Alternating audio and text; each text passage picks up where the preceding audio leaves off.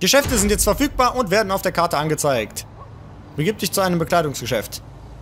Friseursalon, Bekleidungsgeschäft, Tattoo-Studio, Maskenladen. Also ein Kleidungsladen wäre schon mal sehr schön, wenn wir den finden würden. Um Geschäfte zu finden, kannst du durch zweimaliges Drücken von das Radar vergrößern. Ja, genau. Okay, fahren wir mal zum Kleidungsladen.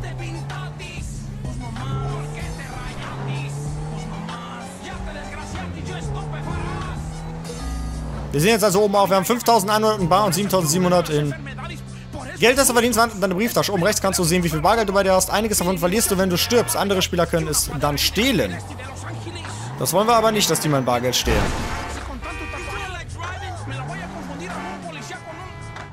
So, hier ist ein Kleidungsgeschäft.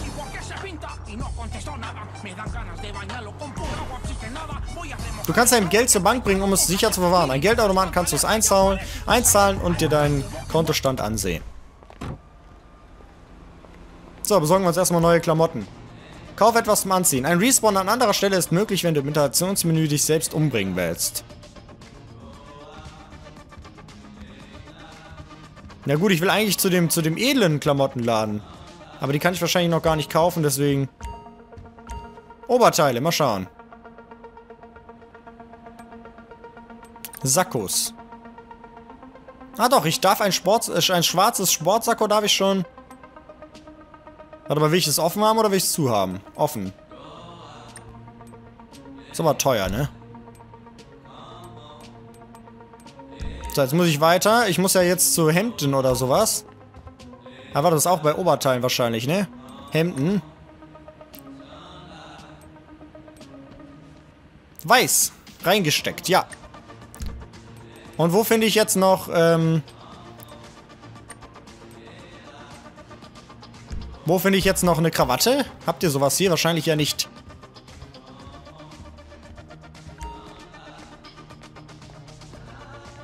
Aber in GTA Online versucht man ja so ein bisschen einen Charakter zu haben, der einem ein bisschen... Ah, warte mal, Brillen. Der einem so ein bisschen ähnelt. Deswegen will ich natürlich eigentlich... Oh, wie viele Sachen es hier gibt. Ist ja Hammer. Will ich natürlich eigentlich, dass der meinen Kleidungsstil so ein bisschen teilt. Weswegen der jetzt auch einen Anzug ankriegt, natürlich. Wobei ich nie eine Brille trage, aber ich hätte trotzdem vielleicht Lust, wenn ich eine schöne finde. Hipsterbrillen, jawohl. Yeah, Hipsterbrillen. Ach du Scheiße. Was? 5500 Dollar für eine Brille?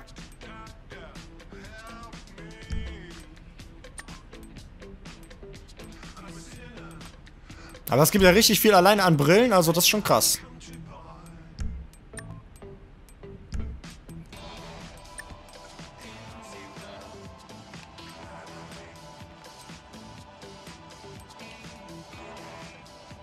Oder will ich gar keine Brille?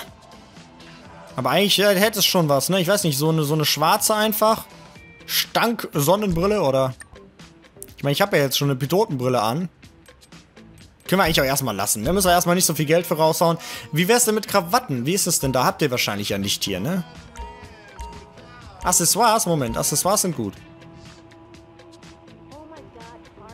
Krawatten, yay, gefunden. Ah, ich darf nur so eine oder so eine. Oder gar keine.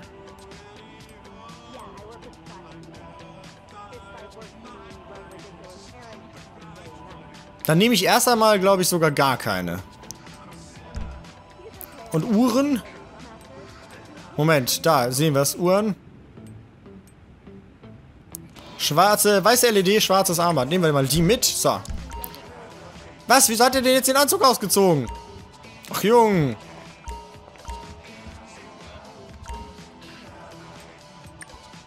Wieso hat er denn jetzt plötzlich komplett andere Sacken, äh, Sachen an? Nur weil ich da eine Uhr anziehe. Was soll das denn?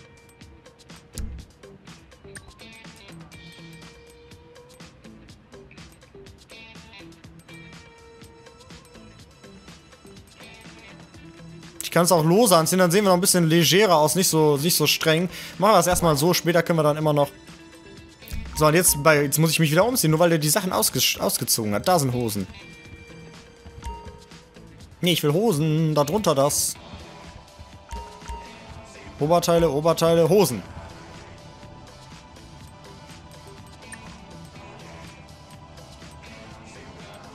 Okay, das ist keine von denen. Achso, doch, die habe ich schon an. Schiefergro Schiefergraue Hose.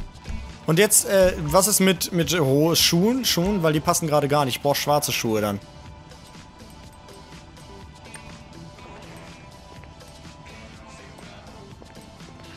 Ja, ganz schwarze Oxfords. Die habe ich auch immer in der Story angehabt. So, dann bin ich soweit erstmal fertig. Das reicht mir. Ein legerer Killer. Okay, im Interaktionsmenü kannst du zwischen Brillen, Hüten und so weiter. Halte das gedrückt um. So, jetzt kann ich... Ach so, jetzt kann ich im Interaktionsmenü kann ich Sachen machen. Ein GPS einstellen.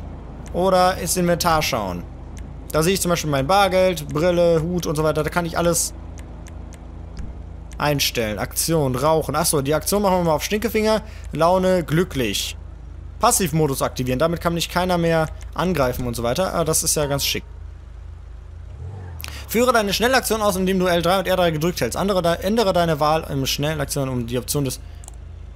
Achso, das ist jetzt der Stinkefinger. Hello. Ja, auf dem Spezialfähigkeiten-Dings. Okay, damit sind wir jetzt in GTA Online, haben Klamotten gekauft, haben ein schickes Auto. Und unser Handy klingelt. Lamar, hey, ja dann, was los? If you need to get some cheese real quick, fuck with me. We got licks all over town just waiting to get hit. Just walk in with the blam blam and point it at the fool behind the counter. He gonna break bread. And they insured, don't nobody give a fuck no way. It's all good. I've been peeping this one spot that been making a gang of bread. You down with that shit? One of the homies gonna meet you at the store to help you knock that motherfucker over. Ja, wäre ich dabei. Wo muss ich hin?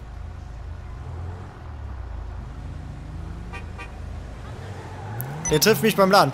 Halte er, um schnell die Einladung schnell anzunehmen. Vielleicht will ich aber auch einfach dahin fahren. Ich will da gar nicht das schnell einnehmen.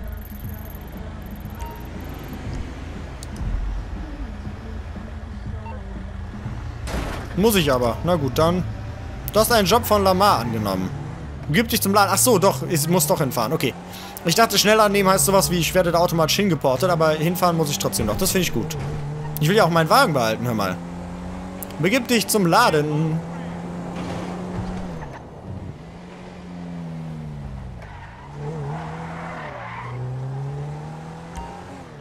Läden, die überfallen werden können, sind auf dem Radar mit diesem komischen Symbol markiert. Eine Tankstelle, ja, haben wir auch schon selber überfallen. Läden, die, ja, genau, okay. Überfalle den Laden. Bedrohe den Kassierer mit einer Waffe, um die Kasse zu plündern. Mache ich gerne. Ist das Apu? Den haben wir ja schon überfallen. Hello, friend. Hello, friend, sagt er. Nix da, friend. Schrei über das Headset, damit der Kassierer den Geldsack schneller füllt. Ich habe aber kein Headset angeschlossen. Schneller!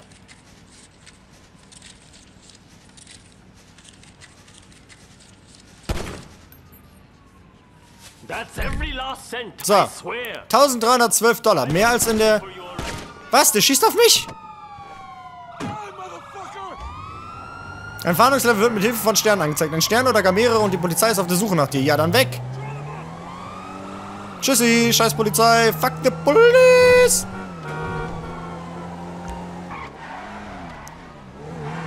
Ja, ich weiß auch, wie der Radar blinkt, wenn die Polizei mich sieht. Ich habe die Story gespielt. Deswegen hau ich auch gerade ab.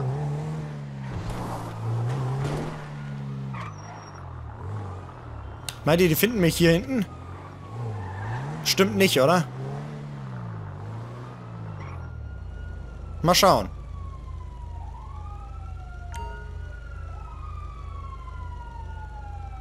Ach ja. Typisch GTA. Aber er ist vorbeigefahren. Das finde ich gut. Und der nächste auch? Ja, das ist weg. Wunderbar. Haben wir geschafft. Haben wir die Tankstelle erfolgreich ausgeraubt. Ich kann Geld mit anderen Spielern teilen, will ich aber gar nicht. Inventar. Bargeld. Ermögliche es dir, einen Prozentsatz des Bargelds aus deinem letzten Job mit anderen Spielern in der Nähe zu teilen. Den möchte ich gar nicht. Danke.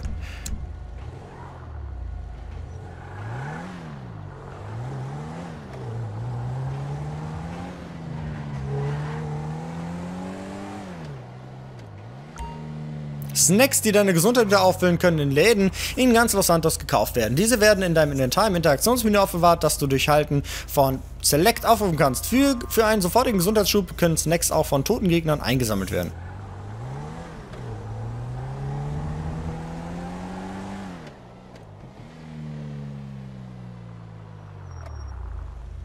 Ja, noch weitere Infos für mich, oder?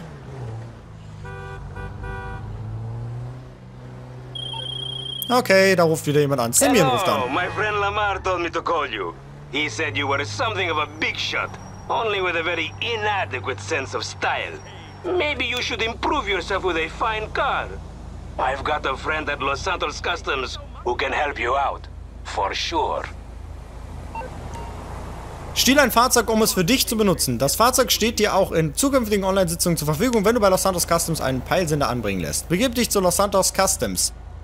So, jetzt dürfte ich mir, glaube ich, ein beliebiges Auto in dieser Welt aussuchen, um es zu meinem eigenen Auto zu machen. Ja, gut, dass wir das schon haben, ne? Ganz ehrlich, ich weiß, man könnte sich jetzt auf die Suche begeben nach einem dicken Sportwagen. Aber warum denn? Ich mag diesen hier. Ich will den als meinen Wagen haben. Also fahren wir zu Los Santos Customs und lassen uns einen Peilsender anbringen und sorgen dafür, dass das unser persönliches Auto wird. Benutze das Interaktionsmenü, um schnell eine GPS-Markierung an dem Ort... Ja, genau. Ähm, schnelles GPS und zwar, Moment. Ammunition, Geldautomat, Tuning-Werkstatt. Tuning-Werkstatt, ja. Wenn die Cops dich in einem gestohlenen Fahrzeug sehen, bekommst du ein Fahndungslevel. Das ist ja Blödsinn. Das habe ich gar nicht gestohlen, das war ich schon die ganze Zeit. Begib dich zu Los Santos Customs. Spieler erscheinen als weißer Punkt auf dem Radar. Bei Freunden wird das Symbol blau umrandet. Beim Mitgliedern deiner Crew wird es in der Farbe der Crew umrandet. Ruf die Pausekarte auf, um dir weitere Spieler anzeigen zu lassen.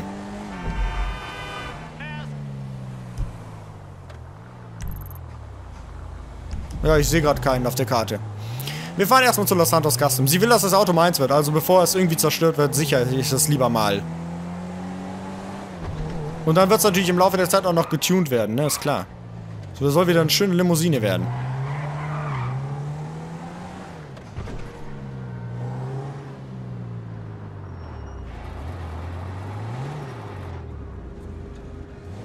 Übermacht Oracle Coupé. Yep, that is it. That is my new car. Befestigst du einen Peilsender an deinem Fahrzeug, erscheint jedes Mal, wenn du aussteigst, eine Markierung auf der Karte. Ja, das ist doch schön. Finde ich gut. Dann finde ich das immer wieder, mein Auto. Immer, immer wieder. Du kannst Versicherungen für Fahrzeuge abschließen. Wenn ein versichertes Fahrzeug zerstört wird, kannst du Anspruch auf ein neues Fahrzeug geltend machen. Wie teuer ist denn so eine Versicherung? Würde ich gerne machen eigentlich. Du kannst die iFruit-App auf deinem Smartphone oder Tablet herunterladen, um dein Fahrzeug online, offline zu modifizieren. Ja, ich habe aber leider kein iApple. Deswegen brauche ich erstmal eine iFruit-App für Android. Wie wär's damit?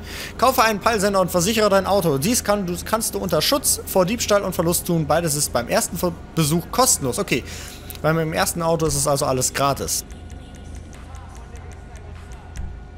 Peilsender gratis. Vollkasko gratis. So, nehmen wir. Mein Auto.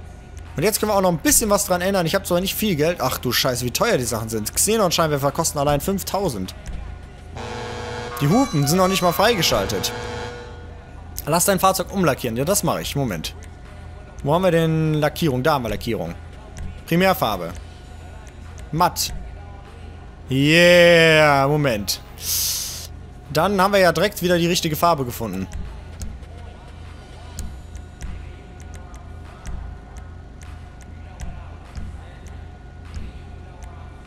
Crew-Emblem. 25.000 Dollar, was? Nein. Sonst irgendwas, was man tunen kann, was noch nicht allzu teuer ist? Wahrscheinlich nicht, wenn allein die Hupen so viel kosten. Sprengstoff. Auspuff. Auch noch nicht freigeschaltet. Motor könnte ich tunen, auch noch nicht, das ist zu teuer. Panzerung. Fenster? Auch noch nicht freigeschaltet. Felgentyp. Ah doch, ich darf, ich darf sogar ein paar Felgen darf ich ausruhen, die sind gratis. Aber die Standardfelgen sind schon ziemlich nice, insofern.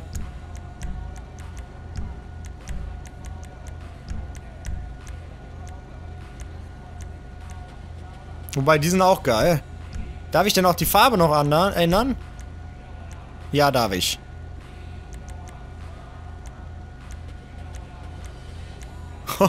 Ach du Scheiße.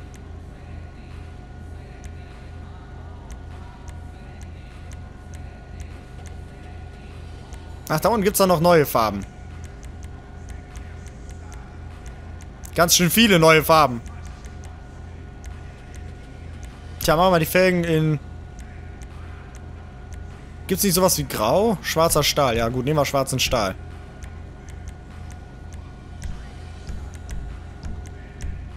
Nummernschilder sind auch gratis. Da machen wir dann noch das Goldene hinten dran.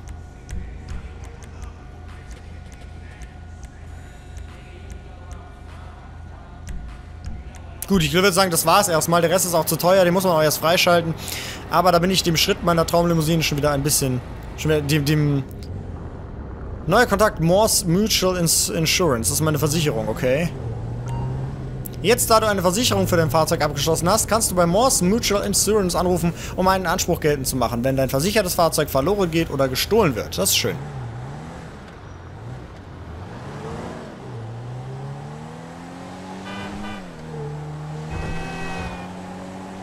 Und wo soll ich jetzt hin, hä?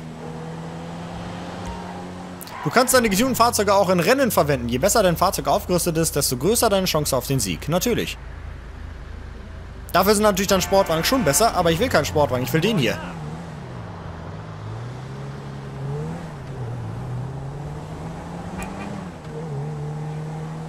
Ammunition gibt's auch.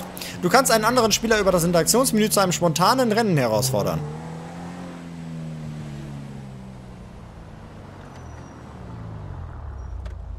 Jetzt will ich mal gucken, wie das ist mit dem GPS. Ah, okay, das Auto wird jetzt also äh, auf der Karte angezeigt. Das kann ich also irgendwo stehen lassen und wenn es geklaut wird, dann habe ich eine Versicherung. Das ist aber schön.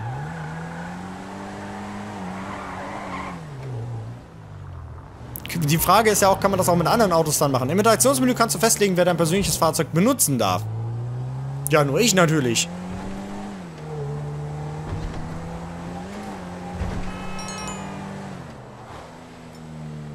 Gerald schreibt mir, ich muss erst wissen, wie gut du schießt, bevor du etwas für mich erledigen darfst.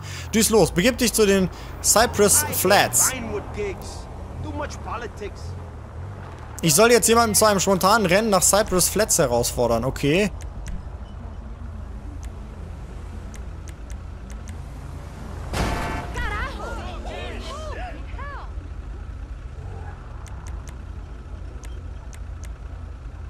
Und jetzt ist das Rennen schon da oder nicht?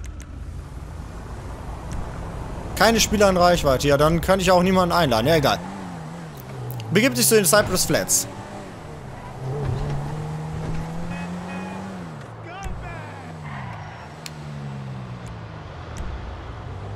So, GPS wieder angemacht. Also ab auf den Weg.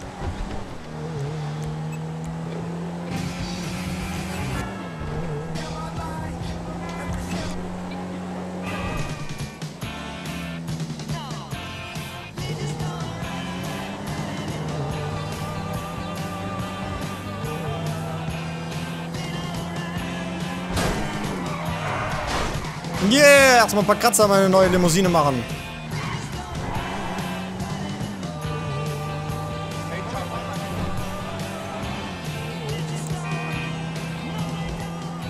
Aber Ammunition gibt es jedenfalls auch, wie ich es auf der Karte sehe. Das heißt, wir können auch wieder Waffen kaufen und so weiter. wahrscheinlich müssen wir da auch erst mit Rängen wieder welche freischalten, würde ich vermuten. Last Team Standing. Jobs können nur zu Fuß ausgelöst werden. Du bist jetzt auf dich gestellt, was das Auslösen von Jobs oder den Beitritt zu Jobs betrifft. Du kannst Jobs auf verschiedene Weise beginnen. Geh in blaue Markierung, wähle im Pausemenü Online-Jobs, wähle auf deinem Telefon schneller Job oder drücke Viereck, während du einen Job auf der Karte im Pausemenü ausgewählt hast.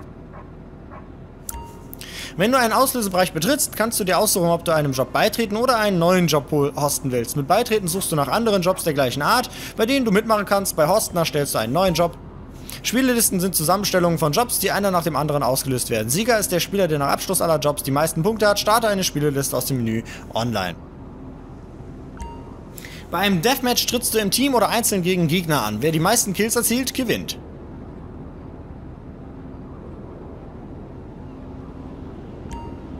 Bei Last Team Standing trittst du in einem Deathmatch gegen ein anderes Team an, aber jeder hat nur ein Leben.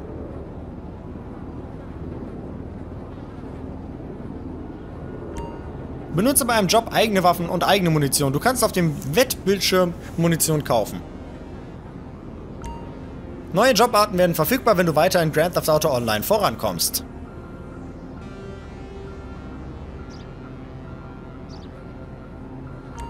Wenn du Jobs verlässt, bevor sie abgeschlossen sind oder andere Spieler beschimpfst, giltst du als Spielverderber. Bleibst du zu lange ein Spielverderber, kannst du nur noch mit anderen Spielverderbern spielen. Sei nett.